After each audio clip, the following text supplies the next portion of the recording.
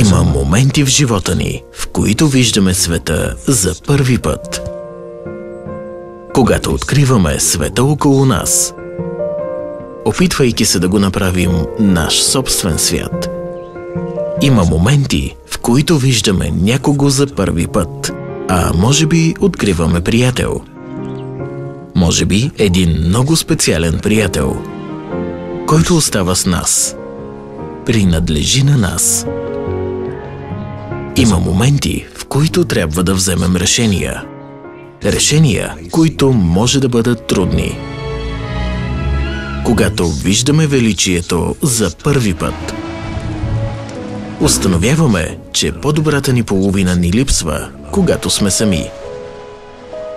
Може би това е моментът, когато получаваме втори шанс, за да разберем какво наистина желаем от какво наистина имаме нужда. Да мислим за времената, в които всичко изглеждаше по-лесно.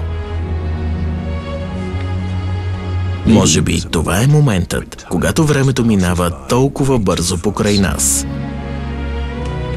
Когато се замисляме за най-важните моменти от живота си, е добре да знаем, че сме ги видели ясно. Цайс – грижа за очите –